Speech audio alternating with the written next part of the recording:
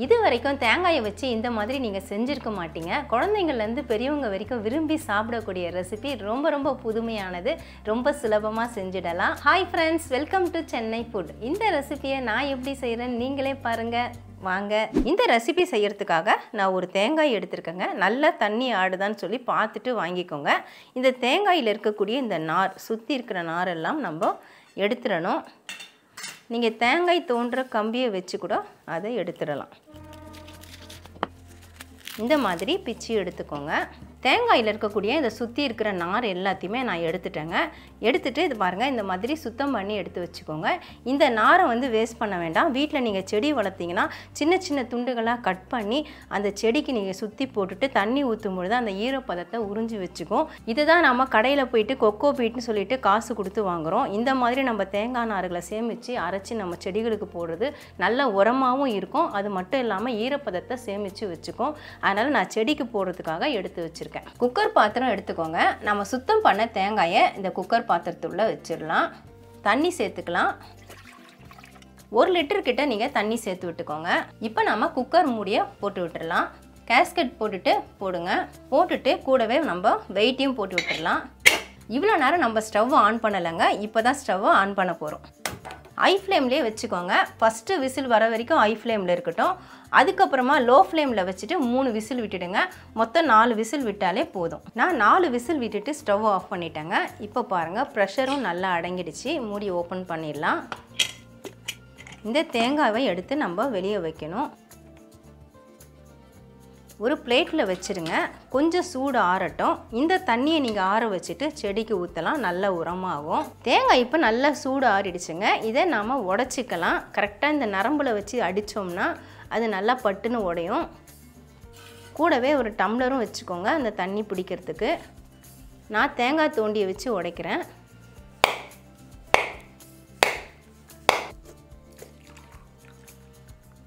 அதில் இருக்கக்கூடிய தண்ணியை எடுத்து வச்சுக்கோங்க. இப்போ பாருங்கள் தேங்காய் ரெண்டாக உடஞ்சிருச்சு. கொஞ்சம் லேசாக சூடு ஆறட்டும் ரொம்ப சூடாக இருக்குது. கொஞ்சம் லேசாக ஆறினதுக்கப்புறமா இதை நாம் இந்த மாதிரி தேங்காய் தோண்டியை வச்சு அப்படியே தோண்டி எடுக்கணும். ஓட்டிலேருந்து கொஞ்சம் சூடு ஆறட்டும். இப்போ சூடு ஆறி இருக்குதுங்க. இது உள்ளார அப்படியே கத்தி விட்டுட்டு சுத்தீரம் அப்படியே இழுத்துட்டு வரணும். இந்த கத்தியை அப்படியே ஷேக் கொடுத்து சுத்தீரம் இழுத்துட்டு வந்தீங்கன்னா அதுலேருந்து ஈஸியாக கிழண்டு வந்துடும் கத்தி மூவ் ஆகிறது உங்களுக்கு தெரியுதான்னு தெரியல. நான் சுற்றி மூவ் பண்ணிகிட்ருக்கிறேன் பாருங்கள் அதுலேருந்து எகிரிடுச்சு. சுற்றிலும் அப்படியே கத்தி கொடுத்து மூவ் பண்ண அதுலேருந்து கிழண்டு வந்துருச்சு. இதே மாதிரி தான் இந்த ஷெல்லுலேருந்தும் நாம் எடுக்கணும். எடுத்துட்டு இதை என்ன பண்ணுறோன்னா இந்த பிளாக்லாம் நமக்கு தேவை கிடையாது. இதை அப்படியே பீல் பண்ணி எடுத்துக்கோங்க. இந்த பிளாக் கலரை மட்டும் பீல் பண்ணிவிடுங்க தேங்காயில் பின்புறம் கருமையாக இருந்த பகுதி எல்லாத்தையும் நான் பீல் பண்ணி எடுத்துட்டேங்க. சுத்தமாக வாஷ் பண்ணியும் எடுத்துக்கோங்க. இந்த மாதிரி வெள்ளையாக தான் இருக்கணும். இதை நாம் பொடிசாக நறுக்க ஆரம்பிச்சிடலாம். மெலிஸ் மெலிஸாக நறுக்கிக்கோங்க. தேங்காயை இந்த மாதிரி மெலிஸ் மெலிஸாக கட் பண்ணி எடுத்துக்கோங்க. இப்போ நம்ம மிக்சி ஜாருக்கு மாற்றி விட்டுக்கலாம்.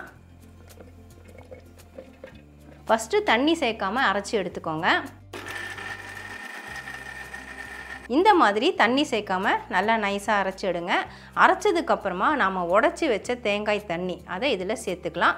இது உங்களுக்கு ரொம்ப குறைவாக இருந்தால் கூடுதலாக கொஞ்சம் தண்ணி சேர்த்து அரைச்சிக்கோங்க. நல்லா நைஸாக அரைச்சி எடுத்துக்கோங்க.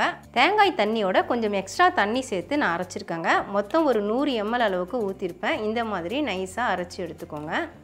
ரொம்ப அதிகமாகவும் தண்ணி சேர்த்துடக்கூடாது. கொஞ்சம் இந்த அளவுக்கு திக்காக தான் இருக்கணும். இது அப்படியே இருக்கட்டும். ஸ்டவ் ஆன் பண்ணிவிட்டு ஸ்டவ்வில் பேன் வச்சுக்கோங்க. காய்ச்சின பால் காய்ச்சாத பால் எது வேணுனாலும் சேர்த்துக்கலாம். நான் காய்ச்சின பால் தான் அரை லிட்டர் எடுத்திருக்கேன். அதை இதில் சேர்த்துக்கிறேன். இதில் ஒரு ஐம்பது எம்எல் மட்டும் நம்ம நிறுத்திக்கலாம். தண்ணி சேர்க்காமல் காய்ச்சின பால் இது. பாருங்கள் இந்த அளவுக்கு நான் நிறுத்திக்கிறேன். இப்போ இந்த பாலில் நம்ம கார்ன்ஃப்ளோர் சேர்க்கணும். அதுக்காக தான் நான் பாலை மிச்சம் பண்ணேன். ஒரு டேபிள் ஸ்பூன் அளவுக்கு நான் கார்ன்ஃப்ளோர் சேர்த்து விட்டுக்கிறேன். நாம் மொத்த பால்லையும் சேர்த்தோம்னா அது மிக்ஸ் ஆகாது. இதில் போட்டு நல்லா கலந்து விட்டுக்கலாம். ஒரு பக்கம் பாலை வந்து ஸ்டவ்வில் வச்சுட்டு ஹை ஃப்ளேமில் வச்சுருக்கிறேன். கட்டிகள் இல்லாமல் நல்லா கலக்கிக்கோங்க. பாருங்கள் கட்டிகள்லாம் இல்லை. மிக்ஸ் பண்ண கார்ன்ஃப்ளோரை இதில் சேர்த்து விட்டுக்கலாங்க. சேர்த்துட்டு அப்படியே நல்லா கலந்து விடுங்க. ஸ்டவ் ஹை ஃப்ளேம்லேயே வச்சுக்கலாம். பொங்கி வர ஆரம்பித்த உடனே லோ ஃப்ளேம் பண்ணிக்கோங்க. பாலில் நம்ம கார்ன்ஃப்ளவர் கலந்து போட்டதுனால அடி பிடிக்க ஆரம்பிக்கும். அதனால தான் கலந்து விடணும்னு சொல்லியிருந்தேன். இப்போ பால் பாருங்கள் நல்லா பொங்கி வந்துட்டு கொதிக்க ஆரம்பிச்சிருச்சு. இப்போ நல்லா கொதிச்சிட்ருக்கு பாலும் நல்லா திக்காக இருக்குது தண்ணி சுத்தமாக சேர்க்காம நல்லா க்ரீம் மில்காக நீங்கள் சேர்த்திங்கன்னா சீக்கிரமாகவே நல்ல திக்னஸ் வந்துடும் கூட நம்ம ஒரு டேபிள் ஸ்பூன் கார்ன்ஃப்ளவர் போட்டிருக்கிறதுனால ரொம்ப குயிக்காகவே திக்னஸ் வந்துடும் இப்போ இதுக்கு தேவையான சர்க்கரை சேர்த்து விட்டுக்கலாம். நான் மெஷரிங் கப்பு பெரிய கப்பில் முக்கால் கப்பு எடுத்திருக்கேன். அதாவது இரநூத்தி ஐம்பது எம்எல் கப்பில் முக்கால் கப்பு சர்க்கரை எடுத்திருக்கேன். நீங்கள் எடுக்கிற தேங்காய் பால் அதை பொறுத்து கூட்டி குறைச்சி சேர்த்துக்கோங்க. சர்க்கரை கரையணும். அதனால் கலந்து விட்டுட்டே இருங்க. சர்க்கரையெல்லாம் நல்லா கரைஞ்சிட்டு பால் பாருங்கள் இப்போ நல்லா திக்காக இருக்குது. உங்களுக்கு பார்க்கும்போதே தெரியும். எந்த அளவு திக்னஸ் இருக்குதுன்னு சொல்லிட்டு ஸ்டவ்வை ஆஃப் பண்ணிவிட்டு இதை நல்லா ஆற விட்டுக்கலாம். பால் இப்போ நல்லா சூடு ஆறிடுச்சுங்க. பாருங்கள் எந்த அளவுக்கு திக்காக இருக்குது ஆறினதுக்கப்புறமா இன்னும் நல்லா திக்காயிடுச்சு. இதை நம்ம அரைச்ச தேங்காயில் மாற்றி விட்டுக்கலாம்.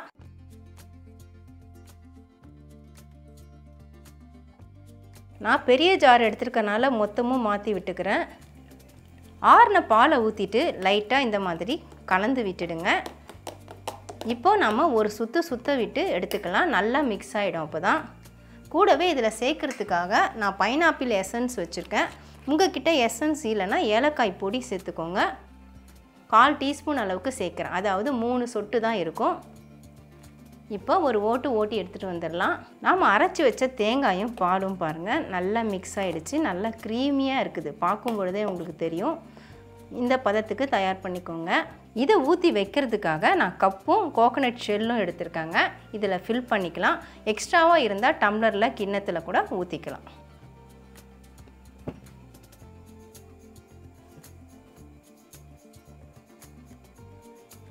இப்போ இதை மூடுறதுக்காக நான் அலுமினியம் ஃபாயில் தாங்க யூஸ் பண்ணுறேன் அதை வச்சு நம்ம க்ளோஸ் பண்ணிக்கலாம். இந்த மாதிரி கவர் பண்ணி விட்டுடுங்க.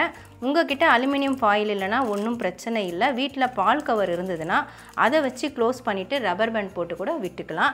இதே மாதிரி எல்லாத்துக்கும் கவர் போட்டுட்டு நம்ம ஃப்ரீசரில் வச்சிடணுங்க. எட்டு மணி நேரம் கழித்து தான் இதை வெளியே எடுக்கணும். எல்லாத்துக்கும் நான் அலுமினியம் ஃபாயில் போட்டுட்டேங்க. இது எட்டு மணி நேரம் நம்ம ஃப்ரீசரில் வைக்கணும். எட்டு மணி நேரம் ஃப்ரீசரில் வச்சு எடுத்ததுக்கப்புறமா இது எப்படி இருக்குதுன்னு பார்க்கலாம். ஐஸ்கிரீமை நான் ஃப்ரீசரில் வச்சு எடுத்துட்டேங்க. எட்டு மணி நேரம் வச்சு எடுத்திருக்கேன். எப்படி இருக்குன்னு பார்ப்போம். சூப்பராக செட் ஆகிருக்கு பாருங்கள் அப்படி கை வச்சா அழுத்தினா நல்லா அழுத்தமாக இருக்குது நல்லா செட் ஆகிருக்கு இதில் பார்த்தீங்கன்னா நான் சொன்ன மாதிரி பால் கவர் தான் போட்டு விட்டேன். சுற்றி ரப்பர் பேண்ட் போட்டு லாக் பண்ணியிருக்கேன். வீட்டில் இருக்கக்கூடிய பால் கவரை கூட நம்ம இப்படி பயன்படுத்திக்கலாம். இதுவும் நல்லா செட் ஆகிருக்கு கோகனட் ஷெல்லில் வச்சுருந்தோம். பாருங்கள் சூப்பராக எல்லாமே செட் ஆகிருக்கு நல்லா. இந்த ஐஸ்கிரீம் பார்த்தீங்கன்னா எல்லாத்தையுமே நம்ம வெளியே எடுக்கணும்னு அவசியம் கிடையாதுங்க. இந்த கப்பில் இருக்கிறத மட்டும் எடுத்துகிட்டு நம்ம கட் பண்ணி கூட சாப்பிட்டுக்கலாம். இந்த கிளாஸில் இருக்கிறது இந்த ஷெல்லில் இருக்கிறதுலாம் நம்ம எப்போ தேவைப்படுதோ அந்த நேரத்துக்கு ஒரு அஞ்சு நிமிஷம் முன்னாடி நீங்கள் வெளியே எடுத்துகிட்டு அப்படியே ஸ்பூனை போட்டு அள்ளி அள்ளி சாப்பிட்லாம். அவ்வளோ சூப்பராக இருக்கும். இப்போ இந்த கப்பில் இருக்கிறத மட்டும் நாம் வெளியே எடுத்துக்கலாம். இது வந்து பார்த்திங்கன்னா இப்போ கூலிங் நிறைய இருக்கிறதுனால வெளியே உடனே எடுக்க முடியாது. நம்மளுடைய கை சூடை வச்சு இப்படி தேய்ச்சி விட்டு கொஞ்சம் அப்படியே லூஸ் பண்ணி நம்ம எடுக்கலாம். அப்படி இல்லைனா நான் தண்ணி எடுத்து வச்சுருக்கேன். நான் பாருங்கள் இந்த கப்பில் தண்ணி எடுத்து வச்சுருக்கேன். இதில் லைட்டாக நம்ம டிப் பண்ணி விட்டுட்டு கூட இதை எடுக்கலாம். இந்த ஹேண்டில் இருக்கிறதுனால உள்ளே போக மாட்டேங்குது.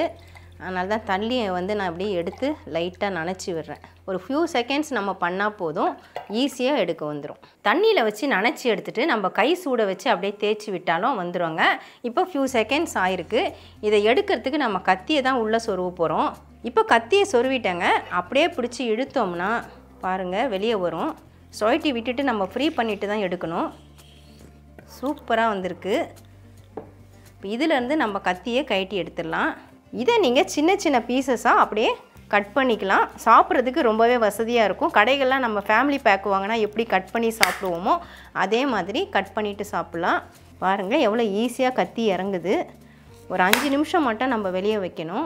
அவ்வளவுதாங்க சூப்பராக நமக்கு கோகோனட் ஐஸ்கிரீம் ரெடி ஆகிடுச்சு எவ்வளவு சூப்பராக நல்லா ரவுண்டு ஷேப்பில் வந்திருக்கு பாருங்கள் நம்ம கப்பில் ஊற்றிருந்தோம் அதனால் ஷேப் அழகாக வந்திருக்கு. அதுக்காக கப்பில் தான் ஊற்றணுன்ட்டு இல்லை. நீங்கள் டம்ளரில் ஊற்றலாம் இல்லை மூடி போட்ட டப்பாவில் ஊற்றலாம் உங்கள் வீட்டில் என்ன பாத்திரம் இருக்கோ அதில் ஊற்றி வச்சு நீங்கள் எடுக்கலாம். அருமையாக இருக்கும். இப்போ டேஸ்ட் பார்த்துடலாமா அப்படியே ஸ்பூன் வச்ச உடனே கட் ஆகுது. ஆனால் ரொம்ப சில்லுன்னு இருக்கும்னு நினைக்கிறேன். சூப்பராக இருக்குங்க. நம்ம சேர்த்த அந்த இனிப்பு அந்த ஃப்ளேவர் எல்லாமே அருமையாக இருக்குது அந்த கோக்னட்டும் நம்ம அரைச்சி போட்டோம். அதுவும் வேக வச்சு அரைச்சி போட்டோம். அதனால் டேஸ்ட் ரொம்ப ரொம்ப சூப்பராக இருக்குது ரொம்ப சுலபமாக செஞ்சிடலாம். இந்த சம்மருக்கு நம்ம வெளியில் போயிட்டு ஐஸ்கிரீம் வாங்காமல் நம்ம வீட்டில் இருக்கக்கூடிய குட்டீஸ்க்கெல்லாம் நம்மளே ஐஸ்கிரீம் செஞ்சு கொடுக்கலாங்க. அருமையாகவும் இருக்கும் ஆரோக்கியமாகவும் இருக்கும். தேங்காவை ரொம்ப கஷ்டப்பட்டு தோண்ட வேண்டாங்க. நான் சொன்ன மெத்தட்லேயே நீங்கள் செஞ்சீங்கன்னா ரொம்ப சுலபமாக தோண்டி ரொம்ப சுலபமாகவே நம்ம ஐஸ்கிரீமை ரெடி பண்ணிடலாம். டேஸ்ட்டும் அருமையாக அட்டகாசமாக இருக்குது கண்டிப்பாக நீங்களும் ட்ரை பண்ணி பாருங்கள் ட்ரை பண்ணி பார்த்துட்டு எப்படி இருந்ததுன்னு எனக்கு கமெண்ட் பண்ணுங்கள் இதோட இந்த வீடியோவை நான் முடிச்சுக்கிறேன். மறுபடியும் இன்னொரு வீடியோவில் உங்களை சந்திக்கிறேன். பாய் காய்ஸ் பாய் பாய்